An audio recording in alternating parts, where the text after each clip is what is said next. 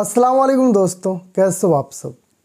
Saudi Arabia में profession verification test उन लोगों का हो रहा था जो सऊदी अरबिया के अंदर में है। नए वीज़ा पे जो लोग काम करने के लिए जा रहे थे सऊदी अरब, उनका फ़िलहाल नहीं हो रहा था। देखिए प्रोफेशन वेरिफिकेशन टेस्ट के ऊपर मैंने बहुत सारा वीडियो बनाया हुआ है। मेरे चैनल पे उसके लिए सेपरेट एक प्लेलिस्ट है। आप वो वीडियो को देखोगे तो प्रोफेशन वेरिफिकेशन टेस्ट क्या है और ये क्यों ज़रूरी है गैर मुल्की लोगों के लिए जो सऊदी अरब में काम करने के लिए जाएँगे या फिर हैं, वो आपको पता चल जाएगा। बहरहाल, जिनको नहीं पता, मैं बता दूँ, सऊदी अरबिया के ministry of human resource and social development के जो डायरेक्टर हैं इंजीनियर अलराजी साहब, उन्होंने एक स्टेटमेंट दिया था 2019 में कि सऊदी अरब के अंदर में बहुत सारा अनस्किल्ड वर्कर है। मतलब वो लोग पढ़े लिखे नहीं हैं, काम से नहीं जानते और वो काम को कर रहे हैं। ये सबको देखते हुए उन्होंने एक प्रोग्राम लॉन्च किया, जिसका नाम है प्रोफेशनल वेरिफिकेशन टेस्ट। और विज़न 2030 के लेके सऊदी हुकूमत का ये टारगेट भी है कि सऊदी अरबिया का जो लेबर मार्केट है, जितने भी लोग काम कर रहे हैं, वो स्किल्ड वर्कर हैं। वो पढ़े लिखे हों या फिर काम अच्छे से जानते हों अच्छा उनके पास एक्सपीरियंस हो। इसको लेकर के उन्होंने बहुत सारा रूल बनाया। सऊदी काउंसिल का रूल बनाया टेक्नीशियन इंजीनियर जो लोग उस पोजीशन पे काम करेंगे, उनको सर्टिफिकेट दिखाना पड़ेगा मेंबरशिप लेना पड़ेगा। उसके बाद एक रूल रखा प्रोफेशनल वेरिफिकेशन टेस्ट का, कि स्किल का टेस्ट देना पड़ेगा। टेस्ट में दो तरह का टेस्ट लिया जा रहा था, जिसमें प्रैक्टिकल और थ्योरिटिकल दो तरह का टेस्ट एक आपको करके भी दिखाना है, दूसरा आपको टिक मार करना है कंप्यूटर में। तो ये दो नया नियम जो है, बहुत बड़ा लागू किया सऊदी हुकूमत ने जिसको लेकर के लोग इमेजिन नहीं किए थे। हालाँकि प्रोफेशन वेरिफिकेशन टेस्ट उतना हार्ड नहीं था। अभी तो फ़िलहाल बंद है और कुछ ही प्रोफेशन का हो रहा था। मैंने इसका पूरा फीडबैक शेयर किया हुआ है मेरे पिछले वीडियो में। बहुत सारे लोग पास भी हुए, कुछ लोग फेल भी हुए। तो प्रोफेशन वेरिफिकेशन टेस्ट इसलिए ज़रूरी है क्योंकि वो अगर आप पास नहीं करोगे तो फिर आपका इकामा नहीं बनेगा। और आपको तीन ही बार चांस मिलता है।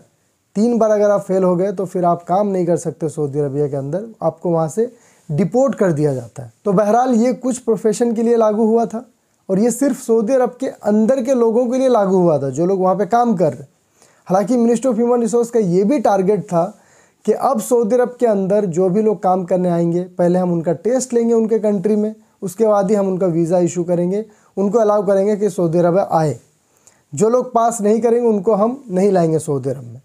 तो ये वाला रूल लागू नहीं हुआ था। हमने देखा 2022 के मिडिल में पाकिस्तान के लिए रूल लागू हो गया। जितने भी पाकिस्तान से वर्कर आएँगे, कुछ प्रोफेशन है जो मैं आगे मैं बताऊँगा। वो प्रोफेशन के लोग आएँगे काम करने के लिए, उनको पहले टेस्ट देना पड़ेगा पाकिस्तान में। टेस्ट देने के बाद ही वो आ सकेंगे सऊदी अरब में। अब देखिए इंडिया के लिए भी अनाउंसमेंट कर दिया है मिनिस्टर ऑफ़ ह्यूमन रिसोर्स ने।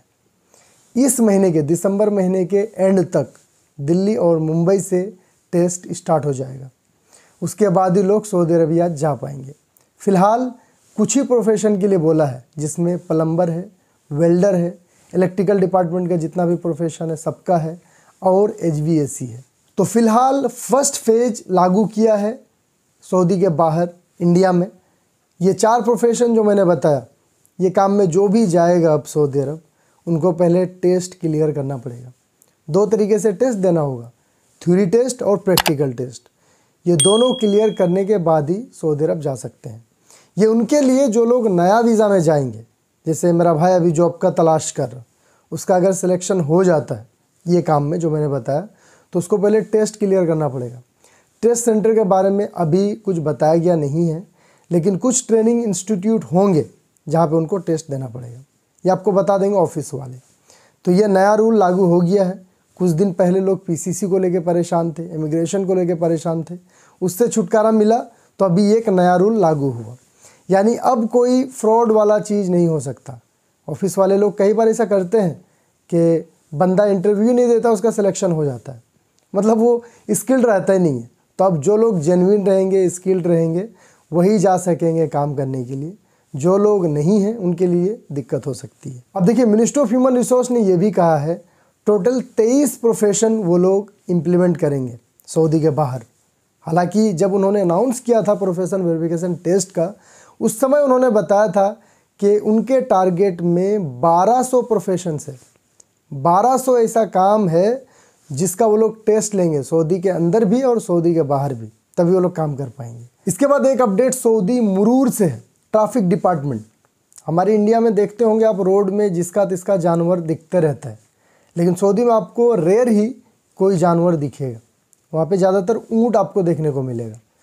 तो ट्रैफ़िक डिपार्टमेंट ने वार्निंग दिया है कि किसी का भी जानवर अगर रोड में आ जाता है, जिससे ट्रैफ़िक बाधित होता है तो फिर दस हज़ार रियाल का जुर्माना लगेगा। इसके बाद एक और update ministry of human resource and social development की तरफ़ से है। सऊदी जेशन चल रहा है सऊदी के लोगों को ज़्यादा से ज़्यादा काम दिया जा रहा। है टीचर का जॉब भी आप सऊदीज कर रहे हैं। प्राइवेट स्कूल में कोई भी सऊदी अगर टीचर का जॉब करेगा तो उसका सैलरी पाँच हज़ार रियाल से कम नहीं होना चाहिए। ये कहा है मिनिस्ट्री ऑफ़ ह्यूमन रिसोर्स ने। इसके बाद एक अपडेट इंडिया से है, कोविड नाइन्टीन से जुड़ा हुआ।